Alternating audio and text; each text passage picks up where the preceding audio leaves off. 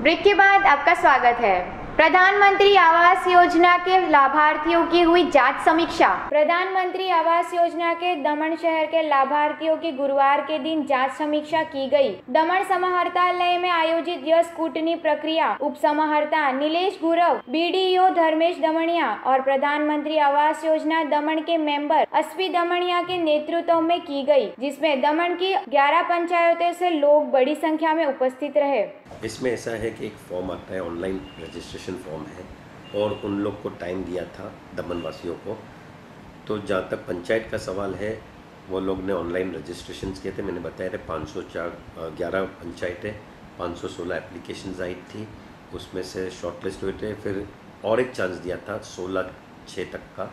उसमें भी किया है। अभी क्राइटेरिया में ऐसा है कि प्राइम मिनिस्टर का आवास योजना का जो ये सपना है कि बाई 2021 तक कोई भी ऐसा आदमी ना हो जिसके पास घर ना हो। लेकिन मैं एक बात बताना चाहता हूँ पब्लिक में बहुत अप्रीहेंशन है कि मेरे पास घर नहीं है तो मेरे को मिलना चाहिए। ऐसा नहीं है ये स्कीम ये स्कीम में सर्टन क्लॉजेज हैं।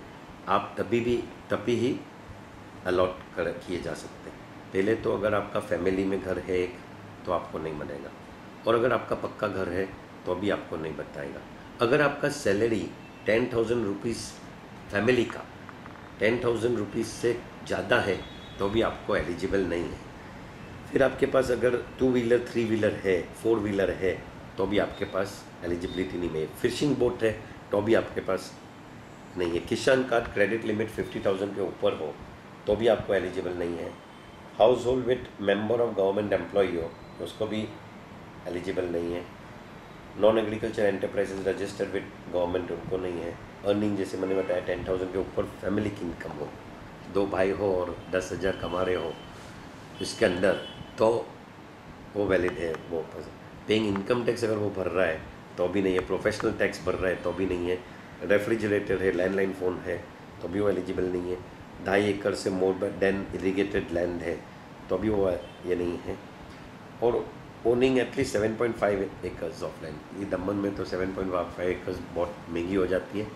ये सब क्राइटेरिया है ऑल ओवर इंडिया तो ये तहत में नहीं रहेंगे. तो बहुत सारे एप्रीहेंशंस आते हैं, सर मेरे घर नहीं है।